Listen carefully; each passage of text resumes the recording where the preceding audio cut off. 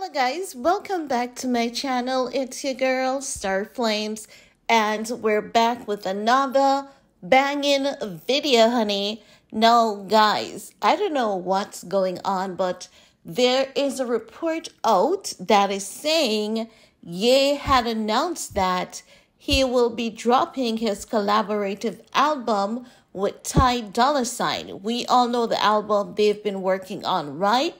Now, some reports are saying that Ye has announced that the album will be released on Friday, December 15th, marking his return to music after a string of widely publicized controversy.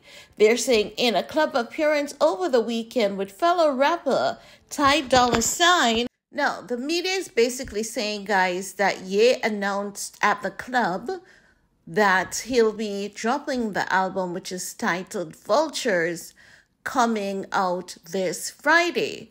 No, I haven't seen that clip. I haven't heard that coming from Ye's mouth. And as such, I don't believe he's dropping any album on Friday.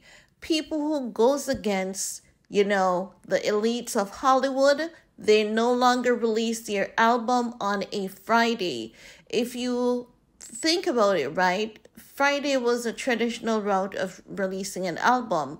Beyonce changed that. She encouraged Taylor Swift to change. And we know Ye is not going to go with the industry because they don't like him, okay? Because he speaks the truth and he speaks out. And he's not going to bend and conform to them. No, no, he's not going to do that. So honestly, I don't believe he's going to drop his album on Friday. I have to hear that from his mouth. And even when I do, I'm going to say it's a trick. Now, I also must say that I understand that his fans are anticipating this album. But I believe the media is trying to set you all up so that you feel extremely disappointed come Friday. That's what I believe could be going on here. Now, I believe that anytime is a good time to drop the album, but I do believe that it is best for him to drop it closer to Christmas when everyone is high on their holiday crack. Okay? If you understand what I mean.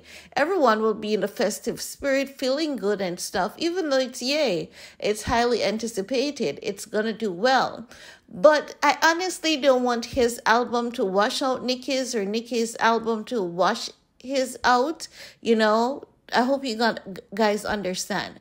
I know that both artists have their own unique fan base and when it comes to Ye's music, he's gonna do darn well. But I don't want his album and Nicki to cross over. It would be good to have two back to back top tier album because like let's keep it real the industry hasn't experienced anything like this in quite a while but i do believe that he should not drop the album this week he should just do so spontaneously sometime in the coming week. But hey, I want to hear from you guys. Do you think that Ye is going to take the traditional route and do a album launch this Friday? Or do you guys think that no one is going to know when he's going to drop the album?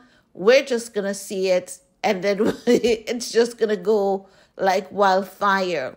I want to hear from you guys because your opinion counts, especially if you understand music, the industry, and how Ye has always done business. I want to learn. So let's get a discussion popping. And remember to give this video a big thumbs up, share if you care, and catch in with you all later, honey. Peace.